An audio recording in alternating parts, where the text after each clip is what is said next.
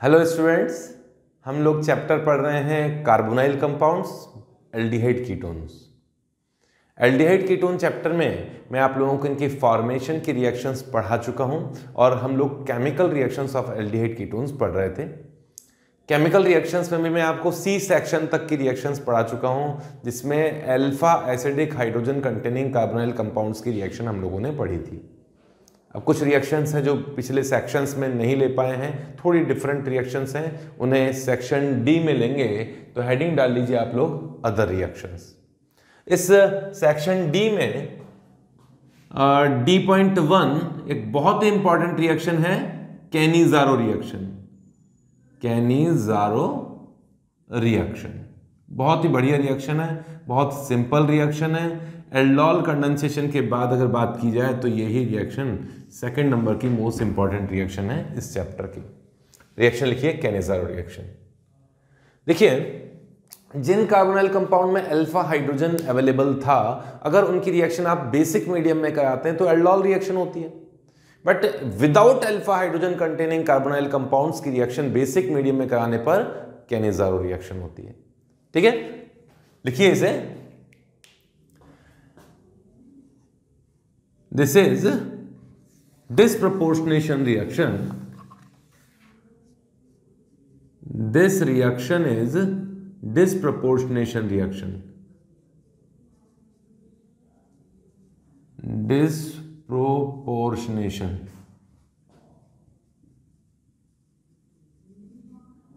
reaction disproportionation reaction आप समझते हैं जिनमें एक ही स्पीशीज का ऑक्सीडेशन एंड रिडक्शन हो disproportionation reaction of, aldehydes having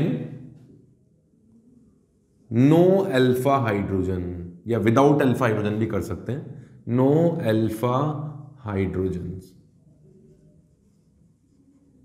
like formaldehyde इनमें कोई अल्फ़ा हाइड्रोजन नहीं है, या कोई ऐसा एल्डिहाइड या फिर बेंजेल्डिहाइड और भी हो सकते हैं। ठीक है? Disproportionation reaction of aldehydes having no alpha hydrogen या without alpha hydrogen in presence of strong base in presence of strong base and form and form, क्या बनता है इसमें? Primary alcohol and salt of carboxylic acid salt of carboxylic acid ठीक है? यहाँ aldehyde के two molecules की reaction होगी बेसिक मीडियम में होगी और एक तो अल्कोहल बनेगा और एक कार्बोक्सिलिक एसिड बनेगा। जैसे समझो कि ये रहे एल्डिहाइड के दो मॉलिक्यूल इसमें कोई एग्जांपल नंबर वन है, कोई अल्फ़ा हाइड्रोजन नहीं है सॉरी इसमें कोई अल्फ़ा हाइड्रोजन नहीं है अल्फ़ा एसिडिक हाइड्रोजन हुआ तो बेसिक मीडियम में एल्डोल कंडेंसेशन होगी। तो यहाँ हम लोगों ने रिएक्शन किया स्ट्रॉन्ग बेस की प्रेजेंस में रिएक्शन होती है। स्ट्रॉन्ग बेस की प्रेजेंस में ये डिस्प्रोपोर्शनेशन रिएक्शन होती है। डिस्प्रोपोर्शनेशन रिएक्शन का मतलब है कि जिसमें जैसे ये एल्डिहाइड है तो एल्डिहाइड का ही ऑक्सीडेशन होगा और एल्डिहाइड का ही रिडक्शन होगा। अब आपको पता है एल्डिहाइड का जब ऑक्सीडेशन होता है तो कार्बोक्सिलिक एसिड बनते हैं। एल्डिहाइड का रिडक्शन होगा तो एल्कोहल बनता है। तो इसका ऑक्सीडेशन हुआ तो कार्बोक्सिलिक एसिड बना। बट बेसिक मीडियम में वो कार्बोक्सिलिक एसिड तो रह नहीं सकता, वो तो सॉल्ट में कन्वर्ट हो जाएगा। और सेकेंड मॉलिक्यूल कन्वर्ट हुआ उसके करस्पॉन्डिंग एल्कोहल में। कहने का मतलब इसमें एल्डिहाइड का ही ऑक्सीडेशन भी हुआ है। एंड एल्डिहाइड का ही रिडक्शन भी हुआ है। क्लियर है? अब इसका मैकेनिज्म क्या है वो समझाता हूँ। बहुत सिंपल सी रिएक्शन है, बहुत सिंपल सा मैकेनिज्म है। जल्दी से इसे कॉपी कीजिए आप। इसे मिटा देता हूँ मैं। लिख लीजिए।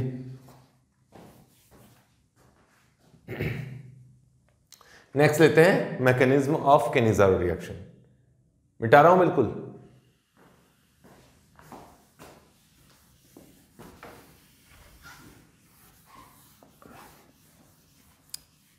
Mechanism of Cannizzaro reaction.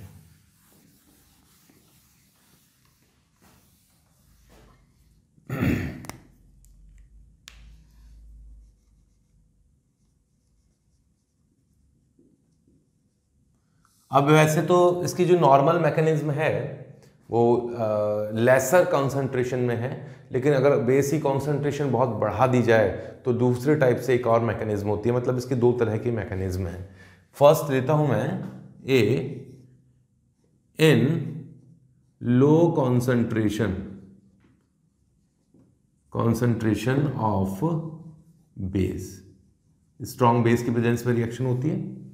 देखिए रिएक्शन बिल्कुल सिंपल सी है इसका मैकेनिज्म जैसे ये एल्डिहाइड है।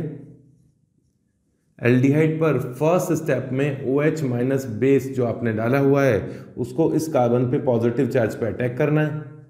क्योंकि यहाँ डेफिशिएंसी है तो यहाँ इसने अटैक किया ओ माइनस बना। क्या बना? एच ओ माइनस यहाँ आ गया ओ एच और यहाँ एच ठीक है? अब इस मॉलिक्यूल में मॉलिक्यूल तो क्या है? ये आयन है। इसकी रिएक्शन होती है दूसरे मॉलिक्यूल से एल्डिहाइड के दूसरे मॉलिक्यूल से। यहाँ पॉजिटिव चार्ज है, यहाँ नेगेटिव चार्ज है। अब यहाँ देखिए, बिल्कुल डिफरेंट टाइप की रिएक्शन है। ये O माइनस में बनता है डबल बॉन्ड और यहाँ से ये H माइनस के फॉर्म में टूट के शिफ्ट होता है इस कार्बन पे। कहने का मतलब यहाँ से ये H का बॉन्ड टूटता जाएगा और ये H माइनस के फॉर्म में न्यूक्लियोफाइल के फॉर्म में यहाँ इस कार्बन पे जुड़ता जाएगा और ये डबल बॉन्ड बनेगा। है ना? इस डबल बॉन्ड का बनना, यहाँ से हाइड्रोजन का टूटना, यहाँ इस जगह बॉन्ड बनाना और इस जगह ओ माइनस बनना, ये एक ही स्टेप में कंप्लीट होता है। ये स्टेप आरडीएस भी है रेट डिटरमाइनिंग स्टेप भी है। हालाँकि रेट डिटरमाइनिंग स्टेप एक्सपेरिमेंटल होता है बट इसे आप इस तरीके से समझ सकते हो कि ओ माइनस बना और एच माइनस के फॉर्म में एच माइनस न्यूक्लियोफाइल के फॉर्म में टूट के यहाँ जा रहा है, जो कि बहुत स्लो रिएक्शन है। ये कीटोन एल्डिहाइड एल्डिहाइड कीटोन की प्रेजेंस में ही हो सकती है। ठीक है? तो यहाँ बनेगा कार्बन कार्बन डबल बॉन्ड और ये H माइनस के फॉर्म में यहाँ गया है। यहाँ क्या हुआ है? हाइड्राइड ट्रांसफ़र हुआ है। हाइड्राइड ट्रांसफ़र हाइड्राइड ट्रांसफ़र हुआ है। और H डबल बॉन्ड O और यहाँ O H means carboxylic acid और ये क्या बन गया? ये बन जान बन, बन जाना चाहिए यही लिखता हूँ, चलो सी एच थ्री यहाँ एक और एच आ गया एच माइनस के फॉर्म में, और ओ माइनस ये बनेगा। ये रहा एसिड और ये रहा बेस एसिड बेस रिएक्शन हो गई इस बार। इस बार होगी एसिड बेस रिएक्शन और एसिड बेस रिएक्शन में एच शिफ्ट हुआ तो H C double bond O O minus plus C H three O H बनता है। कार्बोक्सिलिक एसिड का सॉल्ट बना और बेस सॉरी एल्कोहल बना। इसका ये जो सेकंड स्टेप है, ये आरडीएस होता है, ध्यान से सुन लीजिएगा। ये रिएक्शन थर्ड ऑर्डर की रिएक्शन है। इसके लिए इंपॉर्टेंट पॉइंट्स यहाँ लिखता हूँ। कौन से ऑर्डर की रिएक्शन है? थर्ड ऑर्डर की reaction it is third order reaction कैसे? Because rate of reaction directly proportional to concentration of aldehyde and concentration of O H minus base ये एल्डिहाइड के रेस्पेक्ट में सेकेंड ऑर्डर की reaction है और O H N के respect में ये फ़र्स्ट ऑर्डर की रिएक्शन है बेस के ऑर्डर रेस्पेक्ट में। कैलकुलेशन करना चाहे मतलब इसका ये रेट इक्वेशन निकालना चाहे तो निकाल भी सकते हैं। ये फॉर्मेल्डिहाइड है, मैं इसे इंटरमीडिएट आई से इंडिकेट कर दूँ, है ना? आई से इंडिकेट कर रहा हूँ intermediate I first step equilibrium step है, इसके लिए के इक्वलिब्रियम की कुछ ना कुछ वैल्यू होगी। ये रेट ऑफ़ रिएक्शन के ये जो आरडीएस है, उसके लिए के एच के वन कर देता हूँ इसे मैं। ये के टू होगा एसिड बेस रिएक्शन है, यहाँ से मतलब भी नहीं है आरडीएस ही है। तो देखिए किस तरीके से ये रेट रेट ऑफ़ रिएक्शन जो कि कैनिजारो रिएक्शन है, वो किस पे डिपेंड करनी चाहिए? वो डिपेंड करनी चाहिए आरडीएस पर। तो rate of reaction equals to होना चाहिए रेट ऑफ़ आरडीएस और रेट ऑफ़ आरडीएस क्या है? K one directly proportional to intermediate and formaldehyde की कॉन्सेंट्रेशन क्योंकि इस स्टेप के लिए तो ये दोनों ही रिएक्टेंट है।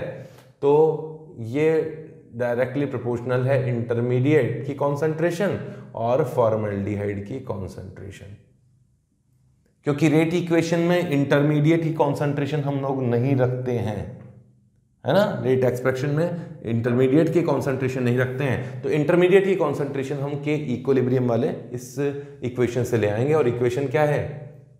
K equilibrium equals to intermediate product ये प्रोडक्ट है ना एक तरह से?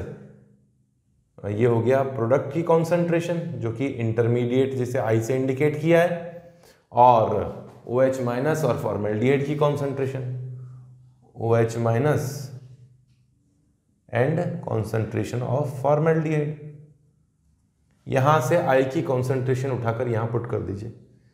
आई की वैल्यू क्या होगी इसके लिए?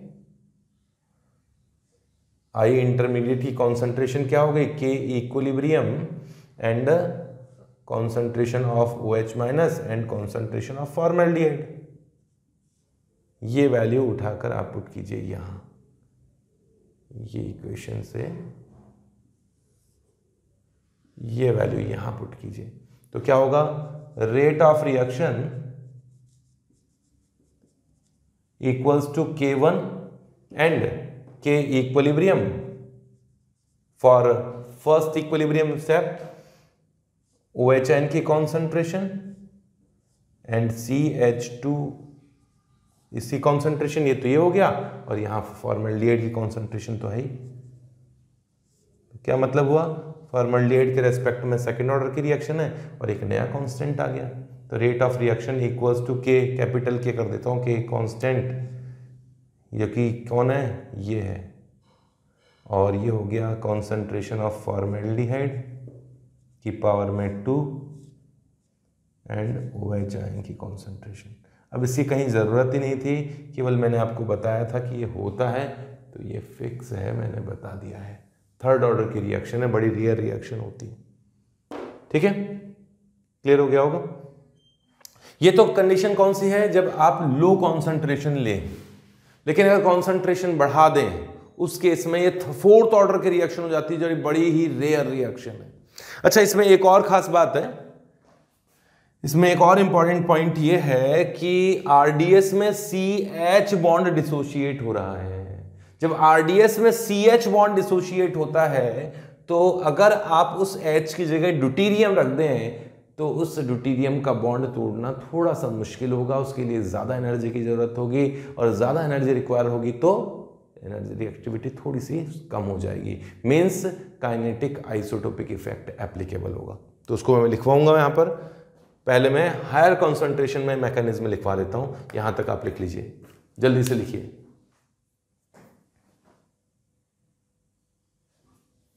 मिटा देता हूँ इस समय लिख लिया होगा आपने।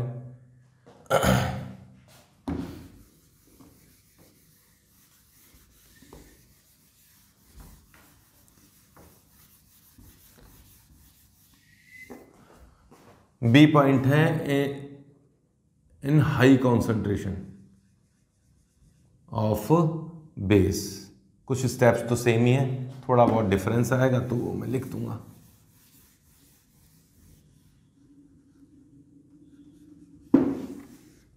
हाँ भाई बी पॉइंट है इन हाई कॉन्सेंट्रेशन वैसे नॉर्मली लो कॉन्सेंट्रेशन पे ही रिएक्शंस दी जाएगी आपको। In high concentration of base first step में ओ एच एन ने यहाँ अटैक किया ओ माइनस बना। सेकेंड स्टेप में सेकेंड स्टेप में ओ एच माइनस क्योंकि हाई कॉन्सेंट्रेशन पे है तो ये ओ एच माइनस यहाँ से एक और एच प्लस निकाल ले जाता है, एक एच प्लस निकाल ले जाता है, और यहाँ भी ओ माइनस बनता है। यहाँ भी बना ओ माइनस दो दो ओ माइनस होगा इस पर अब ये बहुत आसानी से हाइड्राइड को शिफ्ट कर सकता है, H माइनस के फॉर्म में ये दूसरे मॉलिक्यूल पे अटैक कर सकता है, क्योंकि अब तो यहाँ ज़्यादा इलेक्ट्रॉन डोनर ग्रुप है। ये भी O माइनस इलेक्ट्रॉन डोनेट कर सकता है, ये भी इलेक्ट्रॉन डोनेट कर सकता है। तो नेक्स्ट स्टेप जो कि इस बार ये स्टेप आरडीएस होता है, आगे का स्टेप बिल्कुल सेम है, ये स्टेप यहाँ आरडीएस होता है। इसमें इस पार्शियली पॉजिटिव चार्ज पर हाइड्राइड ट्रांसफ़र होगा, यहाँ से डबल बॉन्ड बनेगा और ये H माइनस के फॉर्म में यहाँ ट्रांसफ़र होगा न्यूक्लियोफाइल के फॉर्म में। इसको लर्न करना आसान है, जब न्यूक्लियोफाइल न्यूक्लियोफिलिक एडिशन रिएक्शन करता है, जिस स्टेप में न्यूक्लियोफाइल आके जुड़ता है, वो स्टेप आरडीएस होता है, वही स्टेप आरडीएस है। तो यहाँ हाइड्राइड ट्रांसफ़र होगा हाइड्राइड ट्रांसफ़र और यहाँ न्यूक्लियोफाइल आया, ये O माइनस बना तो बना है H C double bond O O minus and C H three O minus ये फॉर्मेशन होता है। इसमें एसिड डालोगे, तब जाके यहाँ एच एच आ जाएँगे। ये रिएक्शन का कॉन्सेप्ट है। इस केस में, क्योंकि ये स्टेप आरडीएस है मैं डायरेक्ट लिख रहा हूँ, ये वाला जो कंडीशन है हाई कॉन्सेंट्रेशन में now it is fourth order reaction fourth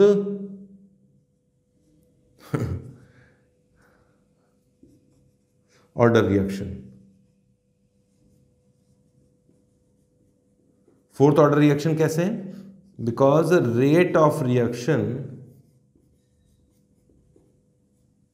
directly proportional होगा या कांस्टेंट कर देता हूँ।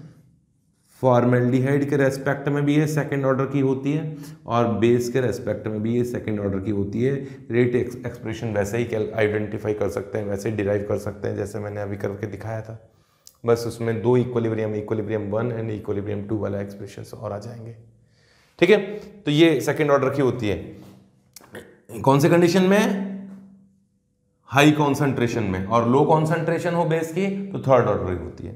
अच्छा ओवरऑल जितनी ये कैनिजारो रिएक्शन चाहे एसिडिक लो कॉन्सेंट्रेशन में हो या बेसिक हाई कॉन्सेंट्रेशन में हो काइनेटिक आइसोटोपिक इफ़ेक्ट वहाँ एप्लीकेबल होगा, क्योंकि तो यहाँ भी सी एच बॉन्ड डिसोशिएट हुआ है।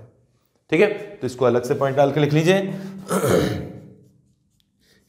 In Cannizzaro reaction in Cannizzaro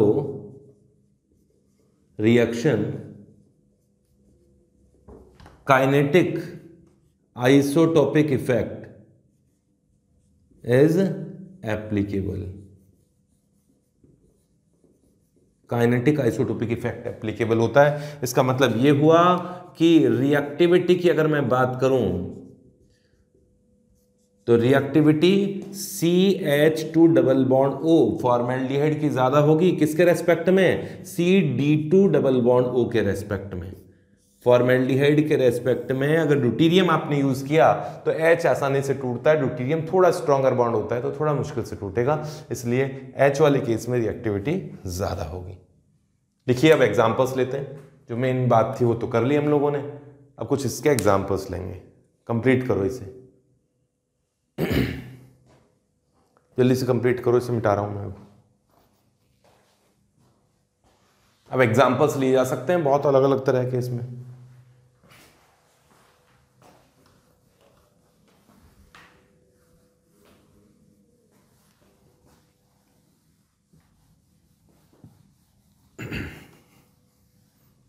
examples बहुत बन सकते हैं इसमें। जिनमें अल्फ़ा हाइड्रोजन ना हो एग्ज़ाम्पल नंबर टू आएगा फ़र्स्ट तो फॉर्मेल्डिहाइड के लिए लिया।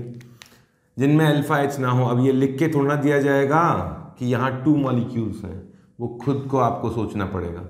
ओ एच माइनस है अल्फ़ा एच इसमें नहीं है कैनिजा करा दो, और बिल्कुल सिंपल है। रिएक्टेंट कौन है? Aldehyde ketone without alpha H reagent कौन है? बेस प्रोडक्ट कौन है? Primary alcohol and carboxylic acid का है ना इस तरह से रिएक्शंस की टेबल बनानी पड़ेगी तुम्हें। अपने हिसाब से बनाओ रिएक्शन का नेम लिखो, इसमें रिएक्टेंट कौन रिएजेंट कौन प्रोडक्ट कौन। और कोई खास बात हो मैकेनिज्म में कोई इंटरमीडिएट हो तो वो इस तरीके से बना के देखो। बनाओ यहाँ। इस बार मैंने ये एल्डिहाइड लिया है, इसमें बेस डाल दिया, क्या प्रोडक्ट बना? ठीक है? Question number fourth. अब क्या लूँ? ये वाला एल्डिहाइड लेता हूँ। C H double bond O and C O O H कौन है? Glyoxylic acid. Glyoxylic acid. इसके भी टू मॉलिक्यूल्स होंगे या वन होंगे तुम देख लो जैसा भी तुम समझ समझ पाओ वैसे कुछ होगा। इससे भी वही प्रोडक्ट बनेंगे। नेक्स्ट लेते हूँ। और भी आएँगे रिएक्शंस यहाँ तक तो करो। ये लीजिए इंट्रामोलिकुलर रिएक्शन का एग्जांपल लेता हूँ। एक ही कंपाउंड में ये है, दो एल्डिहाइड ग्रुप है। तो ऐसा नहीं करना कि दो प्रोडक्ट बनेंगे, इसमें एक एल्डिहाइड कार्बोक्सिलिक एसिड का एनाइन बनेगा और दूसरा अल्कोहल का माइनस बनेगा अल्कोहल बनेगा। हाइड्राइड इसमें इसी एल्डिहाइड से उसी एल्डिहाइड इसी मॉलिक्यूल के एल्डिहाइड पे शिफ्ट हो जाएगा। इसे थैलेल्डिहाइड कहते हैं, जहाँ तक मुझे याद है। थैलेल्डिहाइड। डिहाइड बनाओ प्रोडक्ट्स बना दो। रिएक्शंस और ले सकता हूँ, और लूँगा भी।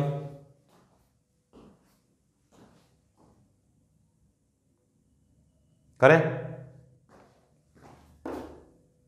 एक मॉलिक्यूल तो कार्बोक्सिलिक एसिड का एनाइन और दूसरा molecule alcohol benzyl alcohol name थोड़ा लिखूं? बेंजोएट एंड बेंजाइल एल्कोहल एक कार्बोक्सिलिक एसिड का एनाइन और NaOH लोगे तो सोडियम सॉल्ट बनेगा KOH लोगे तो पोटेशियम सॉल्ट बनेगा. और उससे रिलेटेड एल्कोहल ये हो गया नियोपेंटाइल एल्कोहल यहाँ एक तो बन गया कार्बोक्सिलिक एसिड का सॉल्ट अब ये देखो, ये भी तो कार्बोक्सिलिक एसिड है तो बेसिक मीडियम में तो ज़िंदा नहीं रह सकता। और दूसरा बन गया एल्कोहल और नीचे वाला कार्बोक्सिलिक एसिड तो सॉल्ट ही बनने वाला है। बेस डाल रखा है ना एसिड डालो तो एच एच एच आएँगे इस यहाँ एक सी एच तो बन गया एल्कोहल और एक सी एच बन गया कार्बोक्सिलिक एसिड का है। सिंपल है। और एग्ज़ाम्पल करते हैं। एग्ज़ाम्पल नंबर सिक्स ध्यान से सुनिए। ये रहा फॉर्मल्डिहाइड के टू मॉलिक्यूल्स इसमें डाल दिया बेस और बेस में भी ये ओ OH नहीं डाला इस बार। ओ डी डाला है। ओ OH डालते हैं तो बन ही जाता है। ओ डी डाला है। आप सोचो खुद मैकेनिज्म को ध्यान से देखो। नॉर्मल केस वाला मैकेनिज्म देख लो। है ना? लो कंसंट्रेशन वाला। उस मैकेनिज्म के अकॉर्डिंग से क्या प्रोडक्ट बनना चाहिए? कहाँ से हाइड्राइड शिफ्ट होता है, किस तरह से होता है, वो सोचो आप। अभी इसी क्वेश्चन को थोड़ा सा और मॉडिफाई कर देता हूँ। यहाँ एक H C double bond O और ड्यूटीरियम है। इसमें अगर एन डालकर कैनिजारो रिएक्शन कराएँ तो क्या प्रोडक्ट बनेगा? और अगर एन ओ डी माइनस डालकर अगर रिएक्शन कराएँ तो क्या प्रोडक्ट्स बनेंगे? बनाओ जल्दी से। सोच लो मैकेनिज्म तुम्हारे सामने है। मैंने तो मिटा दिया मैकेनिज्म करो जल्दी से। अब मैं सॉल्व करूँ? है ना, आपको टाइम दिया मैंने। फ़र्स्ट स्टेप में तो ओ डी माइनस आएगा यहाँ पर। सोचो, मैं वापस डिटेल में बता रहा हूँ। ओ डी माइनस आया, ये ओ माइनस बना। फिर इस ओ माइनस ने डबल बॉन्ड बनाया। डबल बॉन्ड बनाकर एक एच माइनस शिफ्ट होकर दूसरे मॉलिक्यूल पे चला गया। ये रहा दूसरा मॉलिक्यूल का एनाइन फिर यहाँ से एच शिफ्ट होता है, एसिड बेस रिएक्शन होती है तो यहाँ ड्यूटीरियम है तो ड्यूटीरियम शिफ्ट होकर यहाँ आ जाएगा तो यहाँ ड्यूटीरियम रहेगा और यहाँ माइनस आएगा। सही है? इसमें सोचना। ओ एच माइनस आया, यहाँ बॉन्ड बनाता है। इस कार्बन पर ओ एच माइनस आया है। और यहाँ ओ माइनस बना है, एक ड्यूटीरियम है, एक हाइड्रोजन है ड्यूटीरियम को इस तरफ़ लिख देता हूँ। तुम्हें कोई दिक्कत तो नहीं होनी चाहिए। और H माइनस यहाँ लिख देता हूँ। फ़र्स्ट स्टेप ये था। ओ एच माइनस ने अटैक किया और ओ माइनस बनाया। फिर ये ओ माइनस दूसरे मॉलिक्यूल पे जाके अटैक करेगा। मतलब कैसे होता था? ये डबल बॉन्ड में आता था। अब आपसे मैं पूछ रहा हूँ कि H को टूट के निकलना और दूसरे मॉलिक्यूल पे अटैक करना आसान है कि ड्यूटीरियम माइनस को टूटना आसान है? Obviously carbon hydrogen bond weaker bond है तो यहाँ से ये H माइनस दूसरे मॉलिक्यूल पे जाएगा और यहाँ बन जाएगा ये OH और जो H माइनस है वो कहाँ गया? इस मॉलिक्यूल पे, ऐसे जो दूसरा मॉलिक्यूल है उस पर, जिस पर पहले से एक कार्बन है एक ड्यूटीरियम है और वहाँ पहुँच गया वो H माइनस ये लो। और ये O माइनस बना, फिर H शिफ्ट होगा, ये बनेगा। O H and O minus इस केस में कुछ नहीं है। इस केस में बस ओ माइनस जो यहाँ से एच जो था ड्यूटीरियम होगा, वो यहाँ आ जाएगा। तो यहाँ प्रोडक्ट क्या बनेगा? D C double bond O O minus plus C H two वहाँ ड्यूटीरियम भी होगा ओ डी ये प्रोडक्ट्स बनेंगे। ठीक है? बना लो और एग्जांपल्स लेते हैं। क्रॉस कैनिजारो रिएक्शन लेता हूँ मैं। कंप्लीट करो जल्दी से इसे। और भी बहुत से एग्जांपल्स बनेंगे इसमें। मिटा दूँ? लिख लिया होगा। ये लो तो लिख लिया तो मिटा देता हूँ। एग्ज़ाम्पल नंबर एट आएगा क्रॉस कैनिजारो रिएक्शन लेता हूँ। जैसे क्रॉस एंडलॉग रिएक्शन थी डिफरेंट एल्डिहाइड्स में वैसे ही डिफरेंट एल्डिहाइड ले लूँगा तो उसमें एल्फा एच नहीं होना चाहिए लेकिन तो कैनिजारो रिएक्शन हो जाएगी? बेसिक मीडियम में।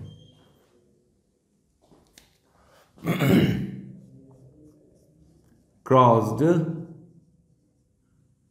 Cannizzaro reaction Cannizzaro reaction example number eight लूँगा.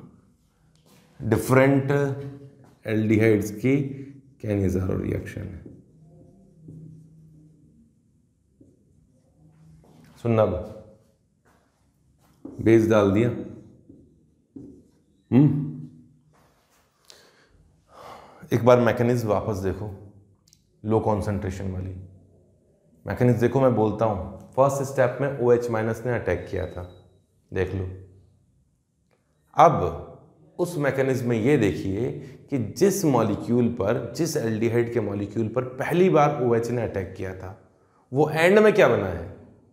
जिस पर ओ OH माइनस पहले जाके जुड़ता है, उस पहले मॉलिक्यूल वो वो क्या बना पहले? एंड में, वो एल्कोहल बना है कि वो कार्बोक्सिलिक एसिड का सॉल्ट बना है? कार्बोक्सिलिक एसिड का सॉल्ट बना है, आपने देखा ना?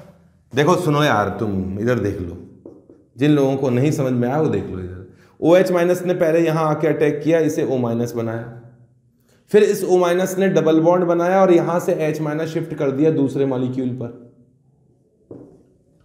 फिर यहाँ से एच शिफ्ट होकर चला गया इस जगह। और ये माइनस बना। कहने का मतलब जिस पर ओ OH माइनस पहली बार आया था, वो एंड में कार्बोक्सिलिक एसिड बना था। क्लियर है? वही कॉन्सेप्ट यहाँ अब मैं आपको बता रहा हूँ कि इन दोनों में जो ज़्यादा रिएक्टिव है, उस पर ओ OH माइनस पहले अटैक करने वाला है।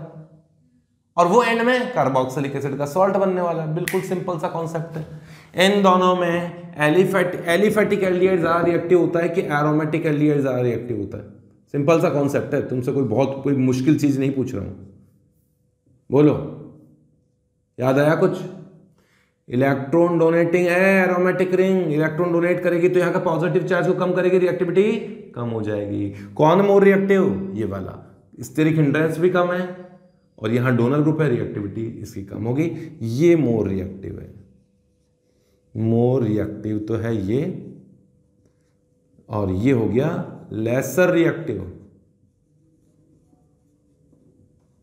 तो जो मोर रिएक्टिव होता है, वो तो कन्वर्ट हो जाता है सॉल्ट ऑफ़ कार्बोक्सिलिक एसिड में।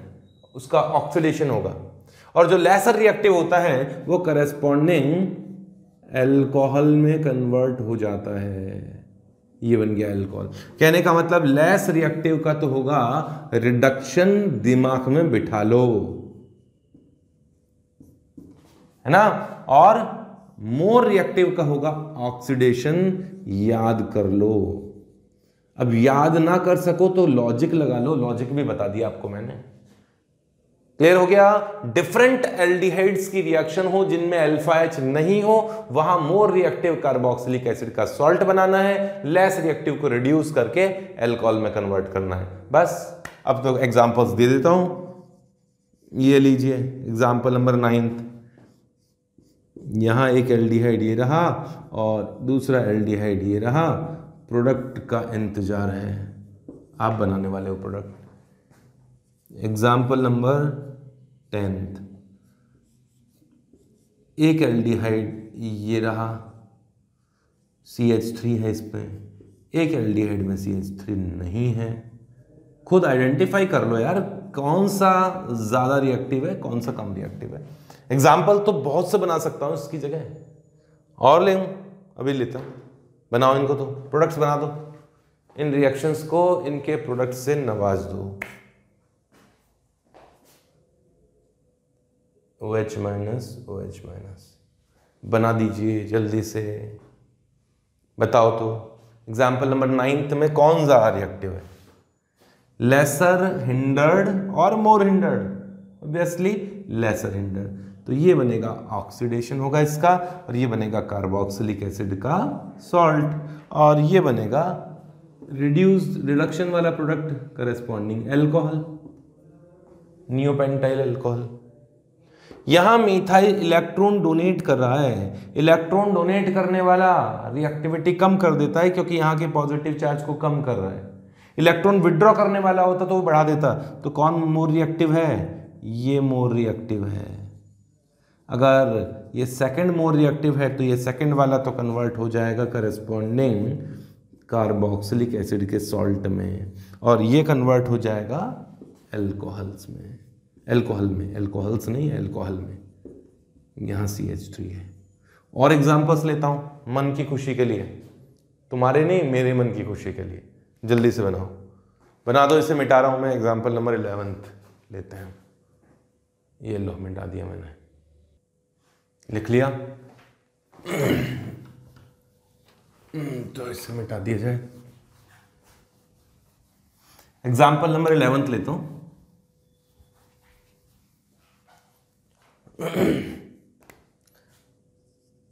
इलेवेंथ एग्ज़ाम्पल में ये रहा एक मेंजेल्डिहाइड और पैरा पोजीशन पे विराजमान है नाइट्रो ग्रुप। और ये है सी एच ओ और इसकी पैरा पोजीशन पर अटैच्ड है। क्या ग्रुप लगा दें? सी एल तो लगाऊँगा नहीं, क्योंकि फिर उसमें S N two T H होने का खतरा का रहेगा। कुछ मत लगाओ। ठीक है? और बेस से एक साथ में हीट किया बेस के साथ बॉईल किया प्रोडक्ट बताओ। कैनिजार रिएक्शन का क्या प्रोडक्ट बनेगा? एग्ज़ाम्पल नंबर ट्वेल्व में ये रहा एक एल्डिहाइड, वो एक इंट्रामोलिकुलर कैनिजारो रिएक्शन वाला एग्जांपल है। और इस जगह मैंने लगा दिया O C H three group है ना? और बताओ कौन सा तो सी एच ओ ऑक्सीडाइज होगा, कौन सा रिड्यूज होगा? ये एग्जांपल थर्टीनथ एग्जांपल में यहाँ मैंने लगाया है सी एच ओ सी एच ओ कर देता हूँ। यहाँ सी एच ओ है और यहाँ सी एच ओ है। और यहाँ अरेंज अटैच्ड है आ, इस पर अटैच कर देता हूँ मैं ओ सी एच थ्री है ना? बेस के साथ रिएक्शन किया कंडीशन ये दोनों एग्ज़ाम्पल एक जैसे ही हैं। एग्ज़ाम्पल नंबर फोर्टीन भी लिया जा सकता है। एग्ज़ाम्पल नंबर फोर्टीन यहाँ ले लेता हूँ। एग्ज़ाम्पल नंबर फोर्टीन में ये कंपाउंड है इस पर भी दो C H O group attach है इंट्रामोलिकुलर रिएक्शन वाला ही एग्ज़ाम्पल है। तो क्या होगा? थोड़ा टफ कर देते हैं। है ना? टफनेस बढ़ाने के लिए इस पर मैं पैरा पोजीशन पर सी एच थ्री जोड़ देता हूँ। ये लीजिए सी एच थ्री है पैरा पोजीशन पर। इसकी रिएक्शन आपने कराई है। बेस की प्रेजेंस में हीट किया है। प्रोडक्ट तुम बना दो जल्दी से। कैनिजारो रिएक्शन है। दिखाई तो दे रही है कैनिजारो है एल्फा हाइड्रोजन है नहीं। अच्छा एक और कैनिजारो रिएक्शन देता हूँ मैं। एक और कैनिजारो रिएक्शन है। यहाँ स्पेस कम बचेगा। और लिखूँगा मैं। तो इसको लिखो पहले फटाफट। प्रोडक्ट्स बना दो। जल्दी से बनाओ प्रोडक्ट्स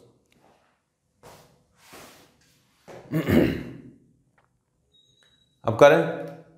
यहाँ मोर रिएक्टिव नाइट्रो के प्रेजेंस वाला होगा। ये मोर रिएक्टिव है। मोर रिएक्टिव है तो इसका तो बनेगा कार्बोक्सिलिक एसिड का सॉल्ट और दूसरा बनेगा बेंजाइल अल्कोहल ये बेंजाइल अल्कोहल इस केस में पैरा पोजीशन पर अटैच्ड है प्लस एम ग्रुप। ये प्लस एम ग्रुप इसकी पैरा पोजीशन पर अटैक है। तो इसी के लिए सबसे खतरनाक है, क्योंकि इलेक्ट्रॉन डोनेट करने वाला ग्रुप इसकी रिएक्टिविटी को कम करेगा, यहाँ पॉजिटिव चार्ज के मैग्नीट्यूड को कम करेगा। तो मोर रिएक्टिव ग्रुप कौन सा होगा? ये सी एच ओ मोर रिएक्टिव है। और जो मोर रिएक्टिव है, उसका होगा कार्बोक्सिलिक एसिड का में कन्वर्जन और इसका होगा अल्कोहल में कन्वर्जन और क्या इसका ओ आर ग्रुप का कुछ होगा क्या? इस ओ सी एस थ्री का? ओ सी एस थ्री का कुछ नहीं होने वाला बेसिक मीडियम में। एसिडिक मीडियम में होता तो हाइड्रोलाइसिस का खतरा रहता, लेकिन बेसिक मीडियम में कुछ नहीं होने वाला। यहाँ बनेगा सी ओ माइनस यहाँ बनेगा C H two O H कहीं एस्ट्रिफिकेशन मत कर देना इनमें। तुम सोचो भाई कार्बोक्सिलिक एसिड ही तो है, और यहाँ बेस एल्कोहल है तो एल्कोहल की और कार्बोक्सिलिक एसिड से एस्टर बनता है। ऐसा मत करना बेसिक मीडियम में एस्ट्रिफिकेशन एसिडिक मीडियम में होता है। इस केस में होना तो इंट्रामोलिकुलर ही है, जैसा इंट्रामोलिकुलर यहाँ हुआ, वैसा इंट्रामोलिकुलर एक को सी ओ माइनस बनाना है और दूसरे को सी ओ एल्कोहल बनाना है। अब O M E group same example मैंने बताया ना ओ एम ई ग्रुप इसकी पैरा पोजीशन पर है तो इस रिंग पर इलेक्ट्रॉन डेंसिटी इंक्रीज करेगा। इस रिंग पर इलेक्ट्रॉन डेंसिटी इंक्रीज करेगा तो इस ग्रुप की रिएक्टिविटी बढ़ेगी, क्योंकि यहाँ पॉजिटिव चार्ज कम हो जाएगा। तो ये तो बनेगा कार्बोक्सिलिक एसिड का एनायन ये बनेगा एल्कोहल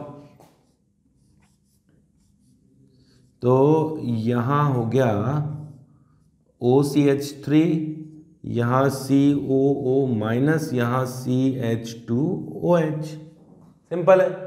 इस केस में भी मिथाइल इलेक्ट्रॉन डोनर है हाइपर कॉन्जुगेशन से इनडायरेक्टली इस पोजीशन पर इलेक्ट्रॉन डेंसिटी इंक्रीज कर रहा है और डोनेटिंग ग्रुप रिएक्टिविटी को डिक्रीज करता है। तो किसका ऑक्सीडेशन होगा? मोर रिएक्टिव कौन सा होगा? ये सी एच मोर रिएक्टिव है। रिएक्टिविटी इंक्रीज होगी तो ऑक्सीडेशन होगा। तो यहाँ C O O minus and second ring पर C H two O H ऐसा एक और एग्जांपल लेता हूँ। ऐसा एग्जांपल जेई में आया हुआ क्वेश्चन है। लिखो इसे तो मैं मिटा रहा हूँ। लिख लिया हो तो अच्छी बात है। नहीं लिखा हो तो भी कोई दिक्कत नहीं है। क्योंकि तुम्हें कोई दिक्कत नहीं है, तुम मुझे पॉज कर सकते हो। कहीं भी रोक सकते हो तुम मुझे। ये क्रॉस और इंट्रामोलिकुलर दोनों एक साथ डाल दी मैंने। एग्ज़ाम्पल नंबर फिफ्टींथ लेता हूँ। एग्ज़ाम्पल नंबर फिफ्टींथ अच्छा क्या ले रहा था मैं? ये ये एग्जांपल है। ये रहा कीटोन और ये रहा फॉर्मेल्डिहाइड दोनों के पास ही अल्फ़ा एच नहीं है। बेस डालोगे तो कैनिजारो हो जाएगी इसमें भी। इसमें भी कैनिजारो हो जाएगी। कैसे? देखो, हालाँकि ये कीटोन है। मोर रिएक्टिव तो यही है। तो मोर रिएक्टिव पर फ़र्स्ट स्टेप में ओ एच माइनस अटैक करेगा।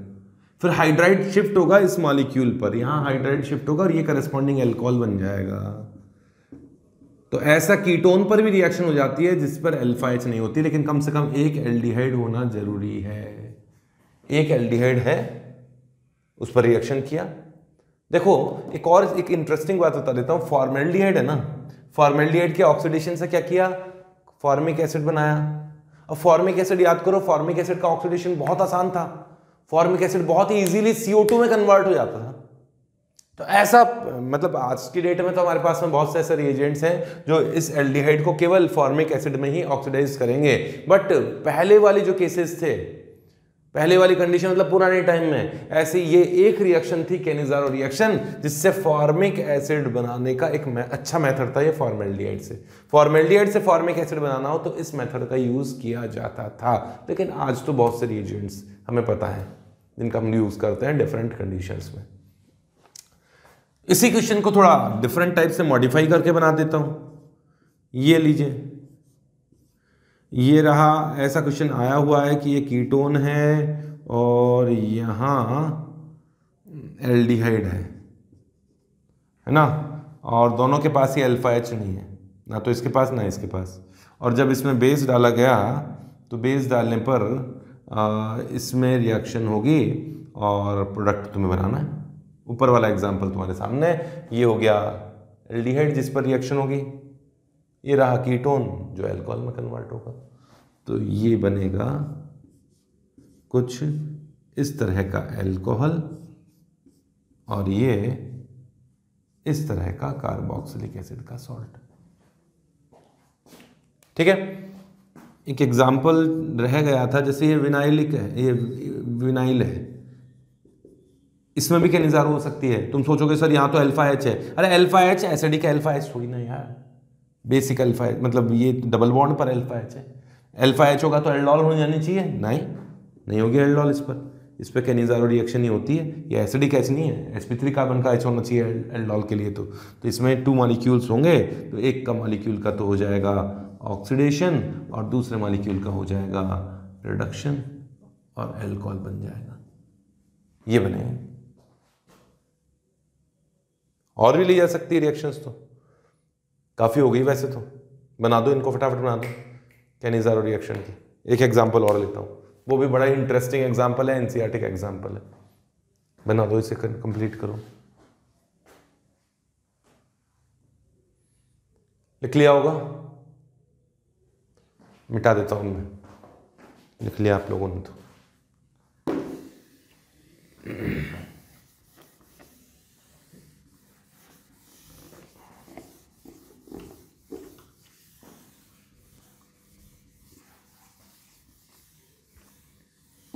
एग्ज़ाम्पल नंबर 18 बहुत ही अच्छा एग्ज़ाम्पल है। अच्छा तो क्या है? है सिंपल सा एग्ज़ाम्पल है बट अपने एन e में भी है और दो बार इसे क्वेश्चन आए हुए हैं। इसमें रिएक्शन किया है C H three C H O की, और इससे रिएक्शन कर दिया एल्डिहाइड से बेसिक मीडियम में। तो कौन मोर रिएक्टिव है? फॉर्मेल्डिहाइड और ये एसिड एल्डिहाइड कम रिएक्टिव है। तो इसका तो होगा ऑक्सीडेशन और इसका होगा रिडक्शन यही होना चाहिए? यही होना चाहिए? अल्फ़ा एच इसमें। ऐसी भावनाओं में मत बह जाना। एग्ज़ाम में कई बार होता है। हम चाहते हैं हाँ हाँ हाँ लेकिन, और एक आध तो ऑप्शन भी वो ऐसा बना के देता है कि हाँ आप गलत सोच रहे हैं ना, उसके अकॉर्डिंग प्रोडक्ट एक ऑप्शन बना के देगा। लेकिन ऐसे कंफ्यूज होने की ज़रूरत नहीं है। अरे अल्फ़ा एच एल्डॉल रिएक्शन करेगा। कौन सी रिएक्शन होगी? क्रॉस एल्डॉल रिएक्शन होगी। ठीक है? तो सिंपल रिएक्शन है क्रॉस एल्डॉल होती है, लेकिन अब मैं जो स्पेसिफिक केस बता रहा हूँ, वो मैं बता रहा हूँ, जब इसे एक्सिस में लिया जाता है, इस फॉर्मेल्डिहाइड को एक्सिस में लिया जाता है तो एंड में जो प्रोडक्ट बनता है, वो कुछ इस तरह का होगा कि H C O O minus plus यहाँ C H two O H यहाँ C H two O H यहाँ C H two O H और यहाँ भी C H two O H हाँ ये कंपाउंड बनता है। ये स्वास्तिक जैसा बना दिया मैंने। कैसे बना? सुनो। फ़र्स्ट स्टेप में ओ एच माइनस आया। ओ एच माइनस ने यहाँ से एच निकाला, जब तक अल्फ़ा एच है, जब तक तो रिएक्शन होगी। एच निकला तो सी माइनस बना। सी माइनस ने इस कार्बन पे रिएक्शन किया। ध्यान से सुन लो। ये रहा सी माइनस बना था इस जगह। इस सी माइनस ने अटैक किया इस एल्डिहाइड पर। सी डबल बॉन्ड ओ और इस पर अटैक किया और बन गया यहाँ ओ माइनस ओ माइनस ने फिर एच एब्जॉर्व किया। कौन सी रिएक्शन हो गई? क्रॉस एल्डॉल रिएक्शन ठीक है? अब हीट कहाँ किया मैंने? हीट वीट नहीं किया इसको। हीट नहीं कर रहा। नहीं तो एच टू निकल जाएगा। अब वो फॉर्मेलिटी एड जो लिया था वो खत्म नहीं हुआ। तो क्या होगा? एल्फा एच अगेन भाई, कुल मिला के हुआ ये ना, एक एच को रिप्लेस करके C H two O H आया। दूसरा एल्फा एच निकलेगा सी माइनस बनेगा अगेन सेम रिएक्शन होगी बेसिक मीडियम में। एल्डॉल कंडेंसेशन होगी। एल्डॉल रिएक्शन या एल्डॉल कंडेंसेशन और एक एच को और हटा देता हूँ C H two O H और आ जाएगा। तो यहाँ एक और C H two O H लगा दिया। यहाँ एक और C H two O H था पहले से। अभी भी अल्फ़ा एच खत्म नहीं हुए अगेन क्योंकि मैंने एक्सेस में लिया भाई। फॉर्मेल्डिहाइड बेसिक मीडियम में अगेन एल्डॉल रिएक्शन और प्रोडक्ट बनेगा कुछ इस तरह का कि यहाँ सी एच तो है ही नहीं, अब तो एच तो बचा ही नहीं। यहाँ C H two O H यहाँ भी C H two O H और एक और एच की जगह भी सी एच टू एच आ गया एल्डॉल कंडेंसेशन हुआ है। अब एल्फा एच नहीं है इसके पास में और आपने फॉर्मेल्डिहाइड एक्सेस में ले लिया था। अब कौन सी रिएक्शन होगी? इस बार तो ना तो एल्फा एच यहाँ है, ना एल्फा एच यहाँ है। इस बार होगी क्रॉस कैनिजारो क्रॉस्ड कैनिजारो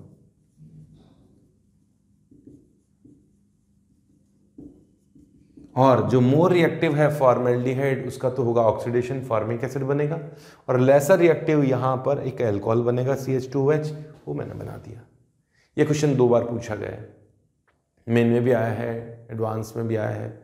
ये पहले एक बार, जहाँ तक मेरे को याद है मेडिकल के एग्ज़ाम में भी पूछा गया है।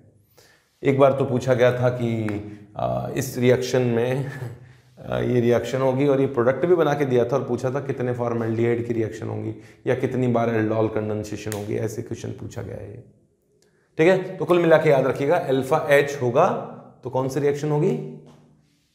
एल्डोल कंडेंसेशन होगी।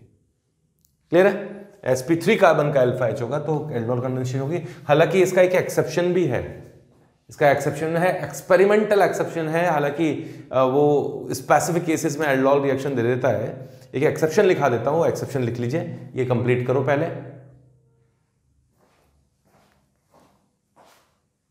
मिटा दूँ?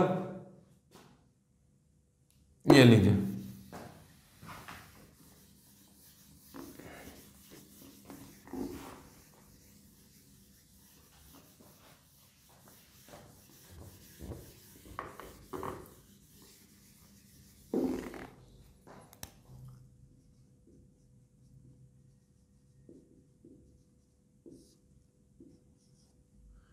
इस कंपाउंड में अल्फ़ा एच है ना?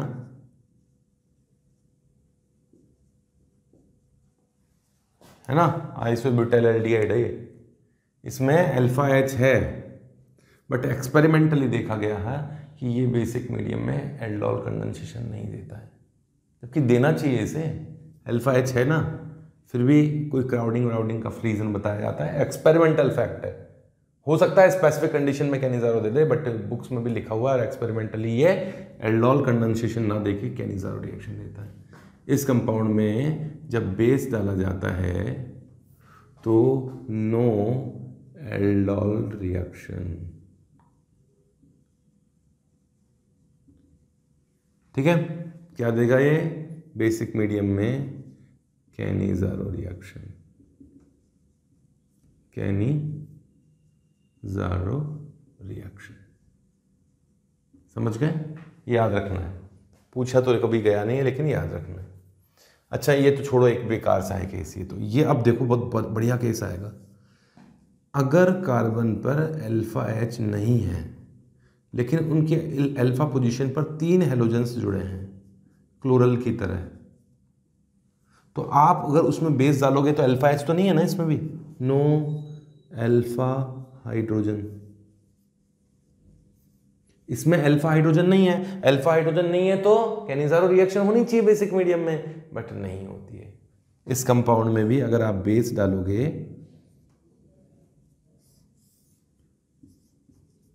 तो कैनिजारो रिएक्शन नहीं होगी।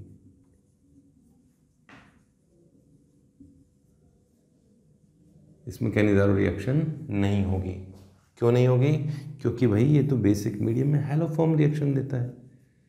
हेलोफॉर्म याद करो ओ एच माइनस यहाँ अटैक करेगा ओ माइनस बनेगा। O minus again double bond बनाएगा और एच माइनस कोई शिफ्ट नहीं होगा, यहाँ से सी एक्स थ्री माइनस बाहर निकल जाएगा। और कौन सी रिएक्शन होगी?